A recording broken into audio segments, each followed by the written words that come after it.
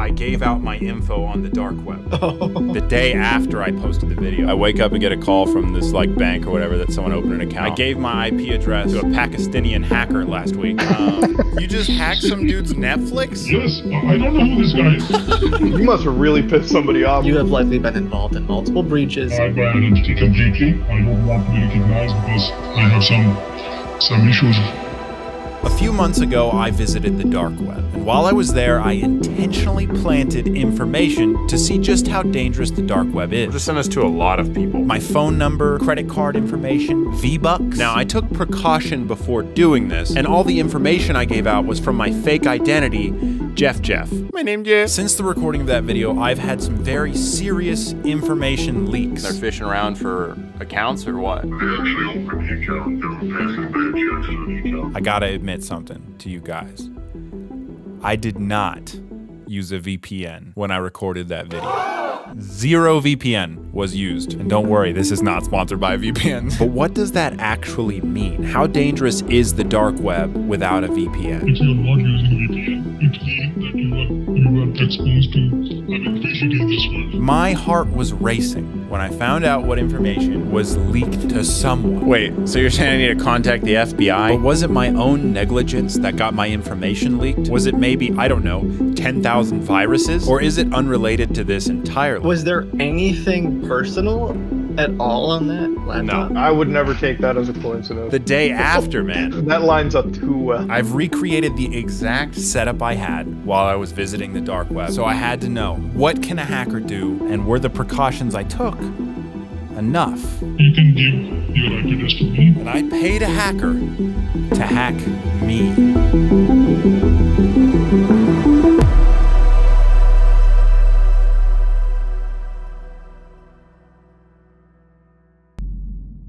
Dark web, yes, it's very dangerous. It's very, very dangerous. This is a hacker. You will never know exactly that you are you are compromised. I'm not allowed to tell you his name, nor his background, which would validate his title of hacker. Hacking is like fun, fun thing. I mean, nowadays, I mean, even students of really early age. I mean, the, the stuff is available all over the. All I can tell you is that he's from Pakistan and he hacked some guy's Netflix in about 10 seconds. It's not about I mean Netflix cooking. It's about how you steal the cookie. And after asking just a few questions, I knew that this guy was the real deal. So someone will just do a random scan. What do you mean by that? So what happens? We'll find an IP, like say your IP. You'll find a lot of commands on the dark web. Okay, you just need to copy the command, then you just replace the IP address in there, and they shoot it on your console. Uh, then what are they able to do from that point with just my IP address? I mean, see, it depends basically. What kind of vulnerabilities is there? If you can get inside the router, it's really dangerous. It's really dangerous. Like, I mean, he's inside your network. If it is connected there, then from router, they, he, he can just go inside and extract the data. So if someone had my IP address, they found a vulnerability in the network, they could go into all the systems attached to the network and access all of the data on those devices, essentially. So they will be able to scan your Windows machine if there is a vulnerability inside your Windows machine. So that, that's how it, it works. But to explain why I'm about to give a Pakistani hacker more of my personal information, I need to explain to you how this journey for peace of mind began. Elephant in the room downloaded 10,000 viruses. How likely is it, do you think, that? this is Kitboga, whose social security number is 420691337. and who is without a doubt the most knowledgeable person I know on how to not get your information stolen. That's what I always tell the scammers. The guy talks to scammers all day. Do not redeem that! Do not redeem that! Oh, Was there anything personal at all on that laptop? Mm-mm, it was I wiped Nothing? clean. And your network was was separated in some network, way. yeah. I tend to be under the impression that a lot of these things come from like data breaches. Because of his experience, I requested his help in understanding what could have happened with this list of my personal information that got leaked. It could have been something like some of your information was in a breach, some people or somewhat automated systems are going through and they're just trying. The simple fact is, most of you watching this have had your information leaked to the public via a hack on a large corporate server. Like, I don't want to use fear and tell people, like, everyone's out to get you. But the rea- the reality for sure is that you have likely been involved in multiple breaches, Yeah. and someone is eventually going to try to use that information against you. And that in itself can be kind of nerve wracking. But where it gets really scary is what if the person who got my information got it from hacking me directly? I'm not trying to scare you, but if it's someone who is actively going after you, Yeah. like they want to get Mr. Homeless, right? They Uh-huh. want to go after basically homeless. That's a different level of like a threat. this is what really set me on this journey. But again, it, it feels to me like Coincidence?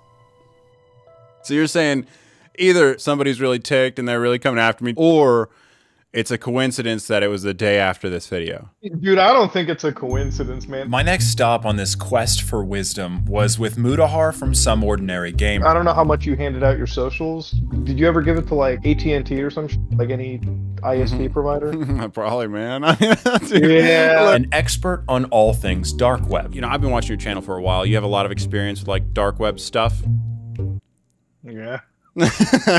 Yeah. That's what I was working on right now, actually. Oh no. This guy basically lives inside a virtual machine. Like on the dark web, VPN very important. Like I always route through a VPN then Okay. the Tor browser. I'm not using a VPN. The other thing is just don't run it on a host OS. Period. Like just download VirtualBox or something. I'm running it on the host OS. I don't know what they could be doing, what kind of scripts could be running. Usually the Tor browser is really good and really locked down, but again, without like opening up a specific website and seeing what it's doing Yeah, yeah. exactly, it's so hard to tell. So this is exactly what my setup looked like when I recorded this dark web video. The laptop is plugged into the wall for power, and the HDMI port from the laptop is connected to my capture card on my main system. I wasn't super worried about this because there's not really a standard for data transfer over an HDMI cable, they're just media transfer. And on the laptop, I'm using a browser called Tor, which is specifically for browsing the dark web. And the network is this Android phone's hotspot. trying to like so your phone is connected to the data, right? Like Yes. the the Mhm. 5G LTE and everything. Mhm. And the laptop is the only thing connected to that hotspot. Your Android phone, you're just connected through the tethering, right? Like there's no plug USB tethering or anything. Um. Hello? Yo, basically homeless. Yeah, what's up? what the? Here's the thing that kept my eyes open at night. The phone was plugged into my main PC via USB There is no firewall inside for screen sharing. I don't like this, man. For the recording, man. For the recording. They might have your public IP, which then they can geolocate to your address. They get information like a username. My last stop before going nuclear was with John from Tenfold Security. I believe that connection across a cellular network is far more secure than if you're connecting to like a public Wi-Fi. After giving him the exact situation, Only system A is connected to the hotspot. System B is only connected via USB. It's just hard, especially once you're mixing the cellular and then one of the systems is directly connected with a USB. And there, there might honestly, there might not be a path there. after what I had heard from everybody up until this point, it all came down to, well, it depends. Well, it depends. And it depends. It depends. it depends. Even if you're using Onion Router, right, and you visit the dark web, if you're not using a VPN behind that, then your IP Yes, address is. exposed. Yes, it's Yeah, dangerous, okay, okay. yes. So the only way to know what happened that night is to get the most credible hacker I could find on the face of the planet. So you're saying that if someone even sends you an email that's malicious, you don't even have to open the email? And then again, you will be exposed. Yes, you don't need to open that. If I were to give you my IP address, what's the, what do you think the worst you, that you could do is? and give him exactly what a hacker could have had that very night. Okay. If you want to give me your IP address, I found the vulnerability which is exploitable. I will exploit it. I'll be inside your network, and then rest is I mean it's just history. You, you can you can give your IP address to me. Okay. in this 174 242 222.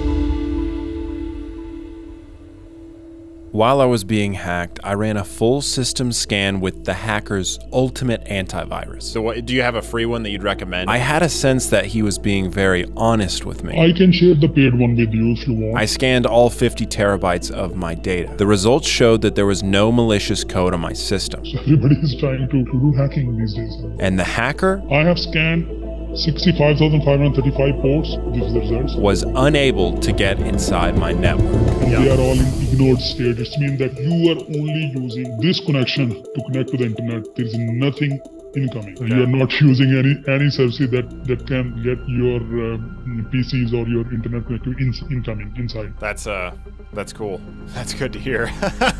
and although I was overjoyed to find out that my precautions were enough to protect against an IP leak, this deep sense of relief was overshadowed by one other thing. It shouldn't happen unless you're downloading some program from them and actually running it, which at that point, you know, anything's fair game.